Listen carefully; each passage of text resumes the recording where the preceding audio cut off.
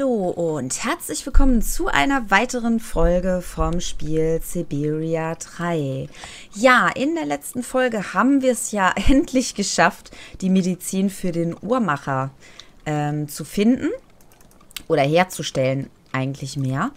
Und jetzt haben wir ja eine neue Aufgabe bekommen. Können wir jetzt überhaupt? Doch, jetzt können wir raus. Ich wollte gerade sagen. Der hielt noch so die Tür zu.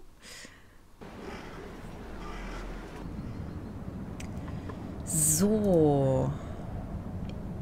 Ja, das ist aber ganz schön im Haken heute. Ich weiß nicht, was das ist. Weil in der Regel, wenn ich aufnehme, nichts läuft. Also es ist jetzt auch gerade weder was am Downloaden, noch ist was irgendwo am Hochladen oder sonst was. Guten Tag. Verirrt, hübsches Mädchen. Ach, der Schleimkopf war das. Okay. Ähm, ja, wir müssen, denke ich mal, erstmal Richtung Hafen.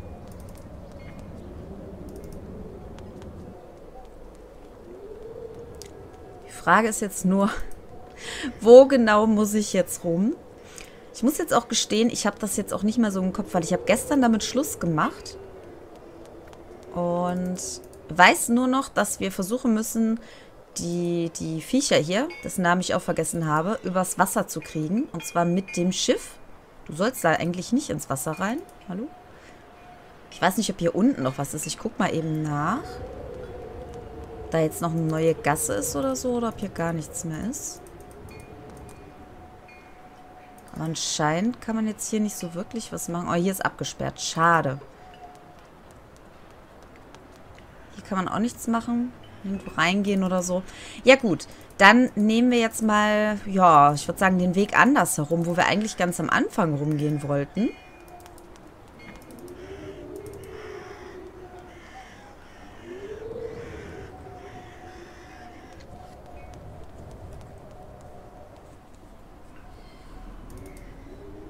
Oder können wir hier auf das Schiff drauf?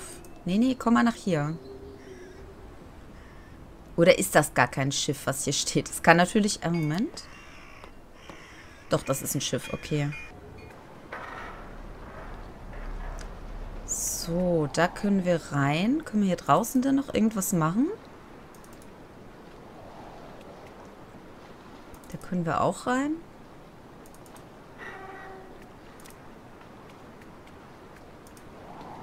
Hallo. Dir das mal an. Gut. Jetzt muss ich nur den Besitzer finden, dann...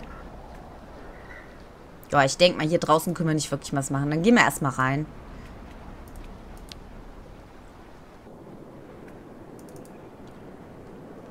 Äh. ist das hier eine Kapelle oder was? Warum sind hier die ganzen Sitze? Ähm, das ist der Weg nach draußen. Nach der mal. Anzahl der Sitze zu urteilen, ist das eine Art Fähre. Ein Transportmittel. Okay. Hallo? Ist hier jemand? Hallo. Kann man hier runter? Ich befürchte nämlich, dass wir da nach draußen gehen. Wenn wir da durchgehen. Ich hoffe, ihr könnt mich noch einigermaßen übrigens verstehen, weil meine Stimme ist schon wieder dermaßen abgebrochen gerade. Ich höre mich wieder so rau an, als ob ich irgendwie, keine Ahnung, 100 Jahre geraucht hätte oder so. Dabei rauche ich gar nicht. Alles scheint noch zu funktionieren. Seltsam, ein Schiff so unbewacht zurückzulassen. Ja, irgendwie kommen mir da jetzt so die ganzen Horror-Games wieder äh, in den Kopf. Aber ich denke mal nicht, dass jetzt hier irgendwo eine Horrorszene kommen wird. Ich meine, es ist ja auch ein Point-and-Click. Also was soll man da jetzt großartig... Hier unten kann man da noch irgendwas... Was das... Ah. Ist auf jeden Fall ein großer Frachtraum. Wow, so viel Platz. Ja, da könnten wir die... Hier die, ist auch niemand. Die, die Flügelviecher da, ich weiß nicht mehr, wie sie heißen, unterbringen. Hier ist auch niemand. Ja, ich weiß, du sollst dich mal umsehen, wenn hier schon keiner ist. Ach, dann halt nicht. Okay, dann gehen wir halt wieder zurück nach oben. Komm, es kommt mir hoch. immer mehr so vor, als liefe ich durch ein Geisterschiff. Sag das nicht zu laut, bitte. ähm, okay, anscheinend möchte sie... Okay, wenn ich dann hinten drauf klicke, dann möchte sie doch hoch. Ja. Sagen wir mal nichts zu. hier sind wir, glaube ich, reingekommen. Also können wir da normalerweise wieder hoch. Genau.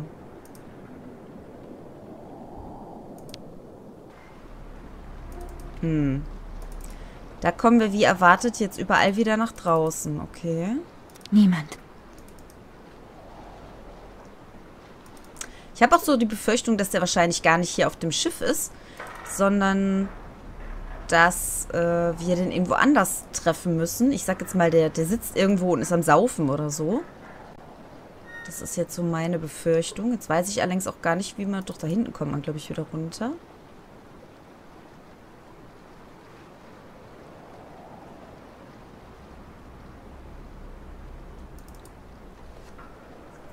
Gehe mich jetzt draußen noch mal so ein bisschen umschauen. Da, wo wir noch nicht gewesen sind am Anfang, wo wir eigentlich rumgehen wollten. Vielleicht finde ich den auch in der Taverne. Ich meine, er trinkt ja viel. Ja gut, die ist jetzt direkt hier vorne. Ich würde sagen, da gehen wir noch mal eben schnell hin vorher. Das wäre jetzt auch noch so ein Gedanke von mir, dass der jetzt irgendwo gerade am Saufen ist oder so.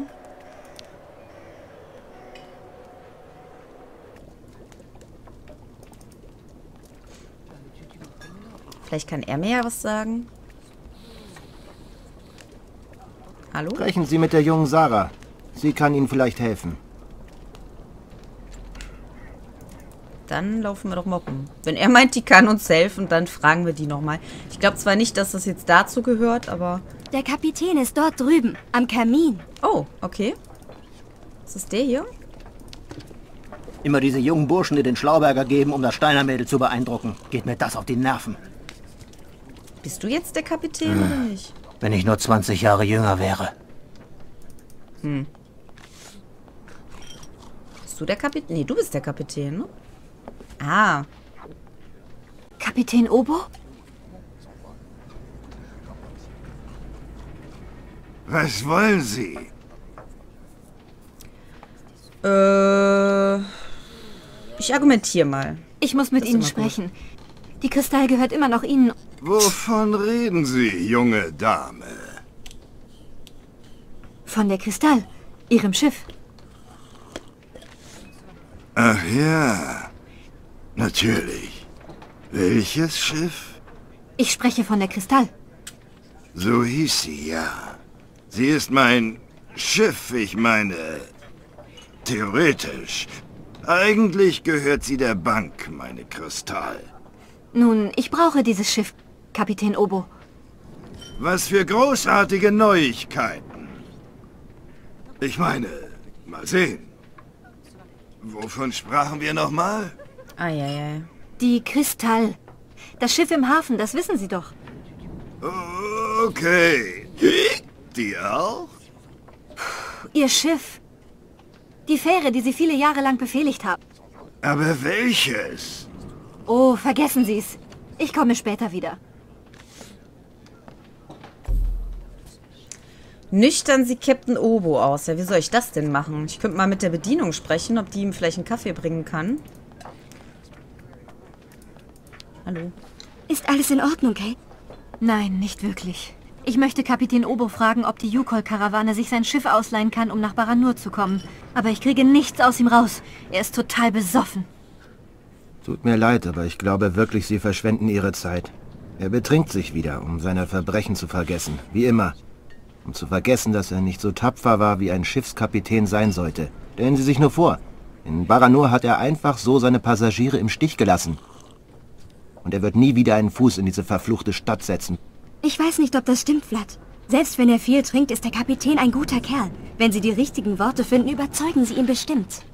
Wenn ich je das Glück habe, ihn bei Verstand anzutreffen. Ich wünschte mir, er würde mir nur einmal zuhören.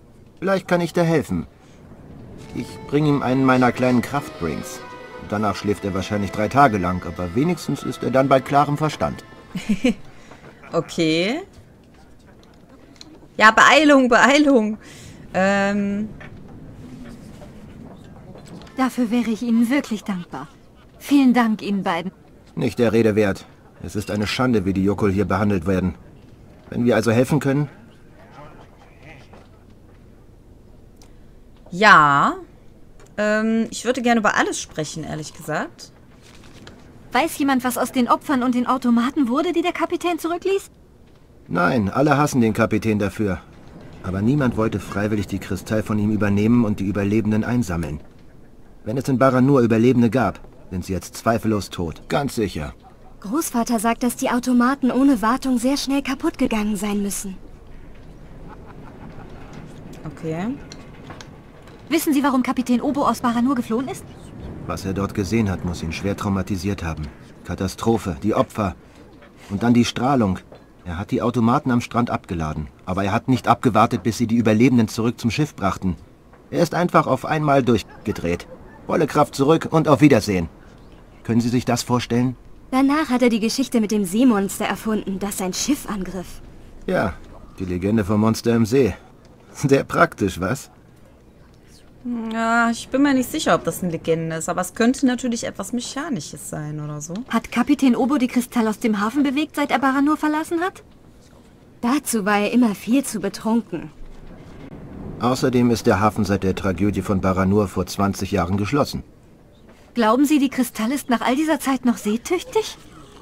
Ich bin sicher, dass ein paar Reparaturen nötig sein werden, aber Obo hat nie aufgehört, sie in Form zu halten. Er liebt sein Schiff, trotz allem. Gehen Sie mit dem Kapitän sprechen. Sarah bringt Ihnen den Kraftdrink, sobald er fertig ist. Okay. Ich muss den überzeugen. Gehen Sie mit Kapitän Obo sprechen. Ich bringe Ihnen seinen Kraftdrink. Okay, also ich muss erst hingehen. Ich habe jetzt eigentlich gedacht, die bringen ihn den Drink vorher schon, aber naja. Okay, na gut. Perfektes Timing. Hier, Kapitän. Das geht aufs Haus.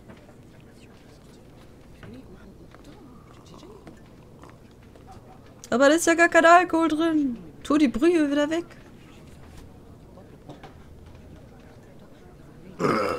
Mein Gott, das schmeckt ja wie Spülwasser. Mach die Schotten undicht und öffne die Bullaugen.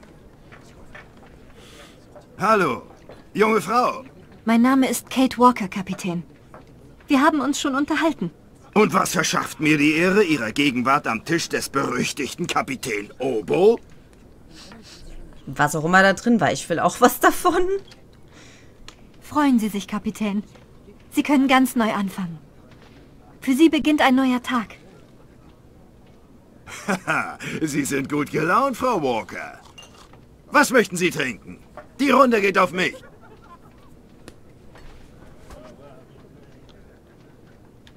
Ich wünschte, Sie würden mir zuhören. Sie sind die einzige Lösung für mein Problem. Dann erzählen Sie mal, junge Frau. Die Yukol und ihre Strauße sitzen hier in Weisembur fest. Das verursacht ernsthafte Nachbarschaftsprobleme mit der Stadtbevölkerung. Außerdem müssen die Nomaden ihre Reise fortsetzen. Nur Sie, Kapitän Obo, können die Situation entschärfen, indem Sie sie an Bord der Kristall nehmen. Sie irren sich, Frau Walker. Jeder kann Ihnen sagen, dass ich völlig unfähig bin, irgendjemandem zu helfen.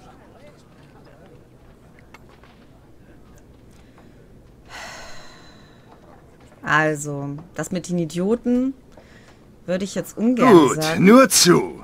Ignorieren Sie Obo, das feige Wunder. Sie haben recht, Kapitän. Man kann nicht behaupten, die Leute hätten eine hohe Meinung von Ihnen. Aber ich glaube, eigentlich haben Sie Angst zu erfahren, wo ich mit den Yukol hin will. Hoho, hört sich das Scheiße. einer an. Gut, sagen Sie mir, wo Frau Walker mit meiner alten Nussschale hin will. Das wird Ihnen nicht gefallen. Ja, Nach Baranur. Ich bin ein gebrochener Mann wegen dem, was ich dort sah. Ein trauriges Wrack von einem Mann. Und Sie verlangen von mir, wieder dorthin zu gehen? Haha, zurück in die Hölle? ja.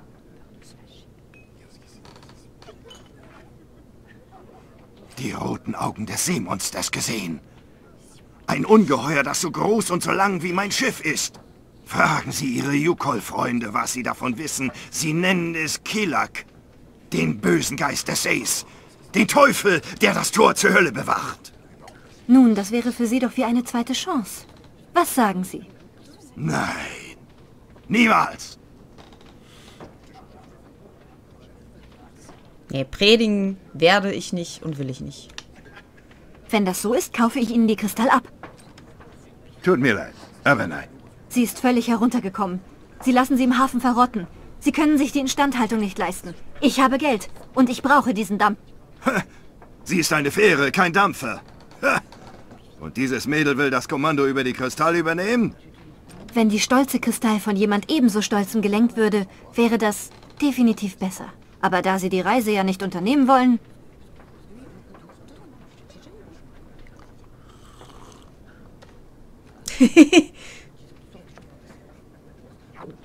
Na gut, Sie können Ihren Haufen kleiner Wilder holen und an Bord der Kristall kommen. Ich nehme Sie mit. Yes. Oh, danke, Kapitän. Ich danke Ihnen aus tiefstem Herzen. Und danke im Namen dieser unglücklichen Yukon. Oh, aber Vorsicht. Leicht, Matrosin, noch sind wir nicht fertig. Ich habe zwei Bedingungen. Und die sind nicht verhandelbar. Erstens, wir gehen bei Nahodotsk vor Anker. Das ist eine kleine Stadt knapp südlich vor Baranur. So vermeiden wir die verseuchten Zonen. Und außerdem fahren wir am Tag. Ich will nicht im Magen des Seemonsters enden. Und am Tag schläft es. Das Ungeheuer ist ein Nachtgeschöpf.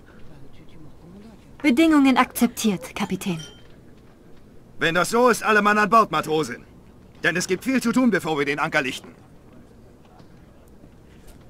Alles klar, Captain. Los, Kate. Gehen Sie mit dem Kapitän, bevor er seine Meinung ändert.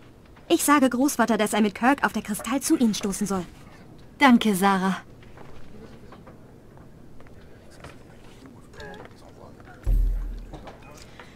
Ja, perfekt. Es hat alles äh, geklappt. Ja gut, einmal habe ich mich ein bisschen ähm, ja, verzettelt. Da habe ich leider... Gehst du mir mal aus dem Weg hier? Ich bin gerade am Gehen. Da habe ich leider die falsche Wahl getroffen. Aber ansonsten war es ja gar nicht so schlecht. Da habe ich überall gut getroffen von den Antworten her. Ich würde aber trotzdem, nee, jetzt laufe ich in die falsche Richtung. Ich würde aber trotzdem sagen, wenn ich da noch die Möglichkeit zu habe, bevor ich jetzt hier auf das Schiff gehe, weil ich weiß nicht, was dann kommt, ob dann noch eine Zwischenszene kommt ähm, und dann das Ganze nochmal cuttet, beziehungsweise äh, ob das eine lange Zwischenszene ist und so weiter. Ich möchte die Folge jetzt nicht zu lange haben, weil die anderen Folgen nämlich auch alle schon sehr, sehr lange geworden sind. Deswegen würde ich sagen, machen wir hier nochmal einen kleinen Cut und schauen uns dann an, ja, wie es dann mit der Überfahrt weitergeht. Und zwar in der nächsten Folge. Bis dann. Ciao.